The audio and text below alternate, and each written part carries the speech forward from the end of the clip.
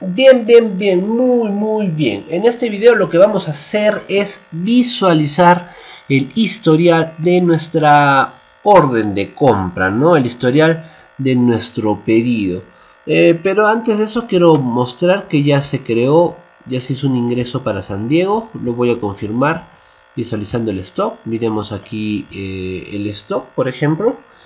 Solo teníamos toda la información que correspondía a, a Miami. A ver, acá si se fijan, acá está Miami.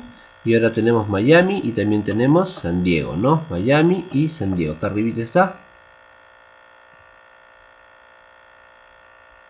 Miami y San Diego. En Miami tengo 200 unidades valorizadas en 6.400 y en San Diego tengo 250 unidades valorizadas en 8000 también lo podemos mirar en este otro pantallazo donde en total tenemos 450 en todo lo que es Global Buy solo que tenemos 200 en Trading Goods de Miami y 250 en Trading Goods de San Diego. Ahora sí vamos a ver eh, vamos a visualizar el historial de la orden de compra o mejor dicho del pedido.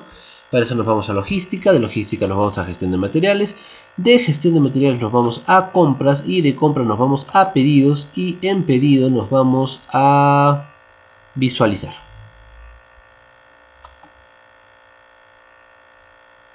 Aquí, a visualizar. Repito, ¿cuál es la ruta? Logística, gestión de materiales, compras, pedido y visualizar. Le damos doble clic y por defecto nos lleva a nuestra última em, a nuestro último pedido ¿no? pero si queremos cambiar vamos a otro pedido y en otro pedido le colocamos el que, el que estemos buscando ¿no? en mi caso el que acaba en 188 es mi pedido para mi orden de compra o mi pedido estándar de Miami porque para San Diego tengo el que acaba en 212 pero vamos a ver este el de 188 ya que ya está que ya está cargado. Y de ahí me voy a ir acá abajo porque en, esta sección solo vamos a visualizar no vamos a hacer ningún cambio. Voy a la parte de abajito donde está la fecha la cantidad. Y me voy acá a historial de pedido y acá es donde voy a ver el historial pues de pedido el historial de esta orden de compra y nos va a aparecer los dos documentos que se nos han generado. El primer documento que es la entrada de, eh, de la mercancía y el segundo documento que es eh, la orden de pago o la factura que se añadió, ¿no? Por eso, fíjense, claramente dice entrada de mercancías y recepción de facturas. Y si queremos ver más detallado, le damos doble clic, por ejemplo, a lo que es de entrada de mercancías. Nos va a llevar a otra pantallita. Cuando nos lleve a la otra eh, pantallita podemos ver acá la información de nuestro material donde se encuentra no cuál es el proveedor y los documentos que se han generado acá donde dice documentos de finanzas le damos doble clic. Acá tenemos un documento contable y también tenemos un documento de control de, materiales que en este caso no, no voy a entrar pero sí se puede entrar a cada uno de ellos dándole doble clic. Acá solo estamos visualizando ¿no? cómo se ve el historial del pedido. Vamos a cerrar. Retrocedemos. Y también podemos entrar al, a la recepción de la factura o la orden de pago.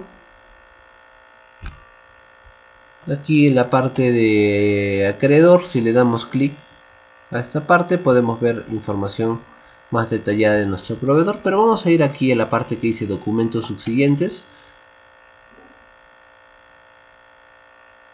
Y va a cargar otra pantallita donde vamos a ver más que todo los movimientos en las cuentas contables no hay una salida que es para el proveedor no pero hay una entrada que vendría a ser entrada a nuestros a nuestros inventarios y vamos a retroceder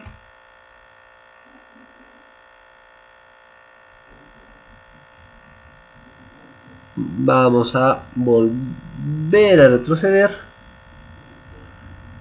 y por último ¿qué podríamos ver? la entrega ¿no? Eh, nos podemos ir aquí a la parte final a estos puntitos y me voy a a reparto y ahí básicamente lo que vamos a ver es la fecha que ha sido entregada la mercadería y qué, y qué cantidad incluso con qué solicitud de, de pedido.